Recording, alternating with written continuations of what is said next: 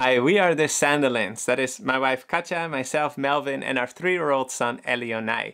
And we are running a family ministry called The Christian Life, where we make YouTube videos. And this year at GYC, we will be holding a workshop called Why Young People Like Us Are Leaving the Seventh-day Adventist Church. Hmm, because the thing is, we actually left the Adventist church ourselves some years ago, and then we went around to many different hmm. churches and movements.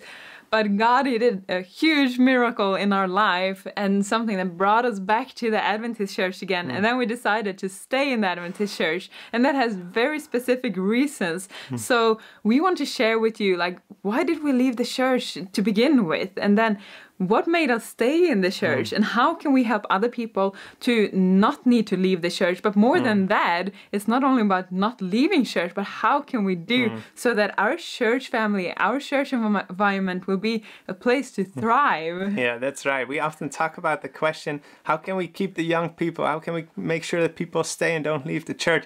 That's not the problem that we should be having as the Adventist church. We should be having the problem, man, there's a lot of people coming. Where are we going to keep all of them? We need bigger buildings, bigger churches, bigger convention halls, and all these things. That should be our problem.